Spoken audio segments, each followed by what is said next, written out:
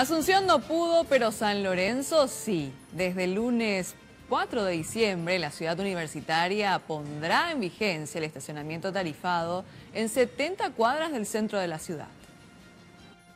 Los carteles están esperando que se les saque el protector de polietileno, para así comenzar a señalizar los sitios donde la empresa privada SL Parking de Argentina cobrará 3.000 guaraníes la hora para vehículos de cuatro ruedas y 1.500 para las motos.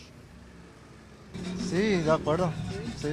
¿Ve que hay mucho desorden no? Sí, veo. ¿Qué, por ejemplo, cómo está haciendo? Y por eso mismo entramos acá, porque no podemos estacionar.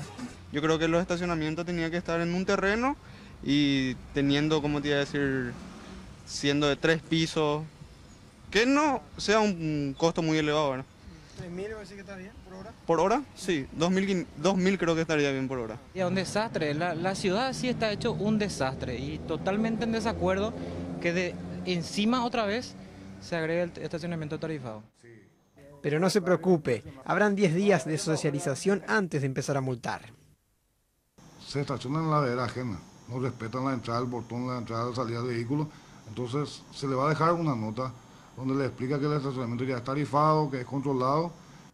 Si pasadas las 5 horas no sacaste tu auto del estacionamiento, viene la grúa. Los sábados, la habilitación para estacionar es hasta 3 horas. Para abonar por el tarifado, la comuna pone a disposición una boleta o una aplicación vía teléfono celular. Que como vos cargas en el, en el smartphone, puedes cargarle como un saldo y te va usando. Y la otra opción es la boleta que compran en los, en los negocios, en los puntos de venta. ¿verdad? Se va a arrancar con la boleta y el que quiera comprar como saldo, eh, tienen como la tarjeta esta que anteriormente teníamos cerrada para cargar tu saldo y tenés ya. Entonces estacionás, activás y ya funciona. Los más de 50 miembros de la PMT están listos para el control y buscar reordenar el caos vehicular de los mal estacionados, principalmente en las calles aledañas al mercado municipal y al edificio de la comuna.